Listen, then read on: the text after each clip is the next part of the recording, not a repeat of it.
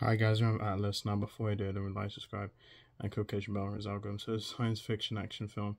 It was directed by Brad Peyton. It stars Jennifer Lopez, Simu Liu, Sterling K. Brown, and Mark Strong.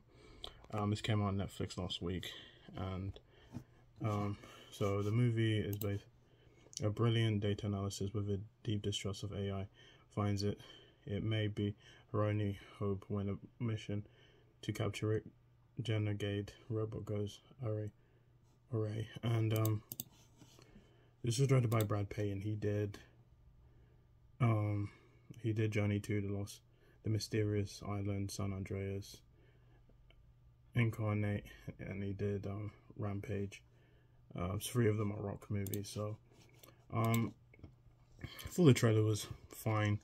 I watched it and it wasn't good, honestly. Um, I think, I think the story probably could have worked, but I feel like it just wasn't.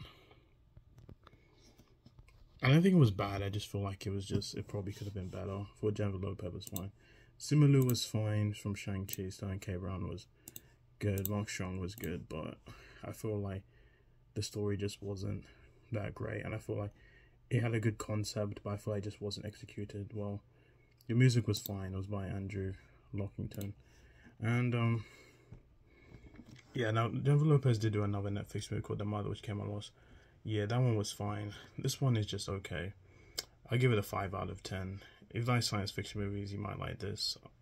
I watched. I don't need to watch it again. I feel like it's just the Netflix movies are really just hit and miss at this point. And I really hope they they change in the future because I just feel like it's just kind of just more the same thing. There really isn't. So yeah, um, so that's that list. I give it a five out of ten.